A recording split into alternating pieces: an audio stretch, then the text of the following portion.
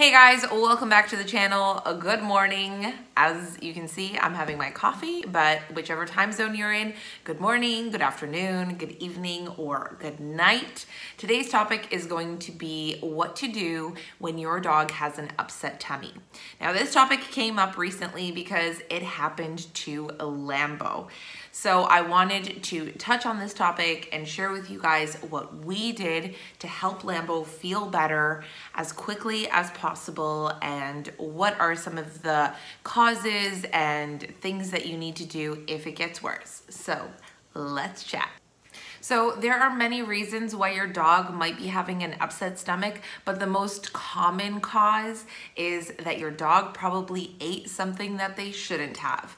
And I think that was the case. I mean, I'm sure that was the case with Lambo because we went out on an adventure and we were hanging out by a lake. We were barbecuing with friends and he was running around in the sand chewing on sticks. So he either chewed too much bark and got it into his system or maybe he ate some sand or I think that someone snuck him a piece of meat off of the barbecue because he threw it up later. So we want to allow our dogs to dog, but sometimes we can't be as careful as we want to be, and these things happen. So, if your dog is vomiting or having diarrhea, then this is the body trying to expel something that shouldn't be in its system. And this is also a sign of a healthy dog. In a healthy dog, it is a protective mechanism of the body that's totally normal to try and get rid of something that it doesn't want inside. Other reasons why your dog might be having an upset stomach is bacterial imbalances in their digestive tract or even chronic conditions such as food sensitivities. But if it's something more serious and you're not sure, always make sure to check in with your vet. Now, the most common symptoms of an upset stomach in your dog is that they will be vomiting and having diarrhea they might look a little bit depressed and you could just tell that they're off and they're not full of energy. If your dog is also nauseous, you might actually see them eating or chewing on grass and this is normal dog behavior. It's something that's going to soothe their stomach and also induce vomiting to get rid of whatever it is that's bothering them. You want to watch out for other signs of an upset stomach in your dog, such as decreased appetite or loss of appetite, fatigue, drinking less water, seeming depressed, looking uncomfortable, and stretching more often. So I'm going to share with you what you can do if your dog has ingested something that they shouldn't have and how you can help them feel better within 24 hours. Now, please remember if they've ingested something that is toxic like avocados or chocolate, then it can be life-threatening and you need to go see your vet immediately. If they've also swallowed or ingested an object, then you also need to seek um, immediate attention from your vet. So just be mindful and know what your dog's ingested. So my first recommendation is going to be ginger. So dogs are kind of like humans. Sometimes they get an upset stomach and just like us, ginger is going to help with that. So I like to make a ginger tea for Lambo, but you can also include a little bit of ginger in their food. But when they have an upset stomach, they're probably not going to eat the ginger. This is why I like to make a ginger tea. So I just take a fresh piece of ginger, I peel off the skin, and then I slice some ginger pieces and I put it in warm water. I let it sit for a little bit to steep, and then I take the ginger pieces out and I offer it to him.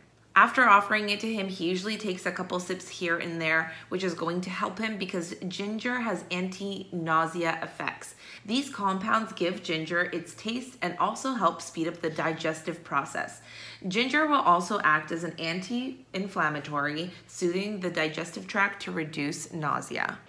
Now, when your dog is vomiting or they have diarrhea, you wanna make sure that you keep them hydrated. Now you don't wanna have them drink too much water. That might make their stomach more upset. So you wanna make sure that they're drinking a little bit, but that are not gulping too much. So you could try ice cubes or this ginger tea. This is why I like to make this warm ginger tea because he drinks a little bit, he doesn't drink too much. It helps keep him hydrated and helps to reduce the nausea. Now, if you do decide to give your dog raw ginger, make sure that you remove the skin and mince the root very finely. Small dogs only need about a quarter of a teaspoon, while larger dogs can have about three quarters of a teaspoon. So make sure that you add it into some of their food and they might actually enjoy it because of the added flavor and it also has added health benefits. Ginger is not only good for reducing nausea and helping your dog's upset tummy, but it can also reduce swelling, it can reduce bloating and other things like that. It can also reduce flatulence. So ginger has many different benefits. Just remember when it comes to ginger for your dog, a little bit is going to be plenty because if you give them too much, then it can actually cause heartburn and bloating and things like that. So we don't wanna overdo it. A little bit is best. Tip number two is going to be to fast your dog. So other than giving them a little bit of ginger tea or water to keep them hydrated, you don't want to offer any food or anything else and just let their bodies do what it needs to do to get rid of whatever it is that's bothering them. And the third thing is going to be just a bland diet, plain Jane food. So plain rice, plain boiled chicken, and pretty much nothing else. You could also offer pumpkin, but just keep it very bland and very simple for a day or two until they're back to themselves 100%. I like to offer Lambo boiled warm chicken and optional to add to that is plain cooked rice or cooked pumpkin.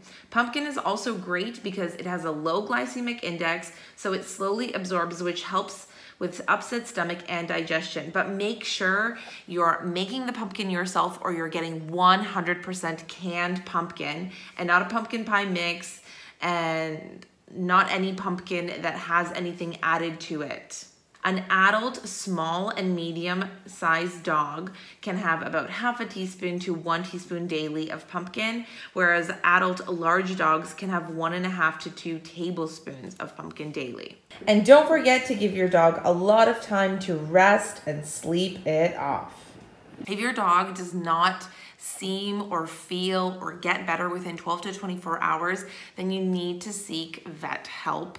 And if your dog's symptoms worsen, then you definitely need to go see the vet, especially if you find blood in their stool or in their vomit, then you need to seek emergency help right away. You also want to check your dog's temperature. That's another thing that we can do at home to rule out a fever. I recommend using a rectal thermometer because it is the most accurate option. So you're going to put lube on the thermometer first. We use coconut oil and then you're going to basically put it in their butt. A dog's normal body temperature is 101 to 102.5 Fahrenheit. A temperature above 104 Fahrenheit is a fever. If the temperature is higher than 104 Fahrenheit or lower than 99 Fahrenheit, you should go to the vet or the emergency vet hospital as soon as you can.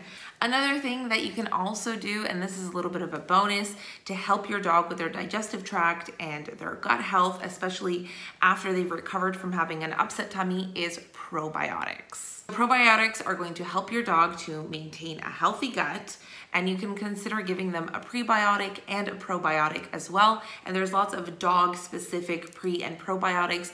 So you can chat with your holistic vet or you can take a look online or see if your vet has any recommendations for ones that are going to be best suited for your dog.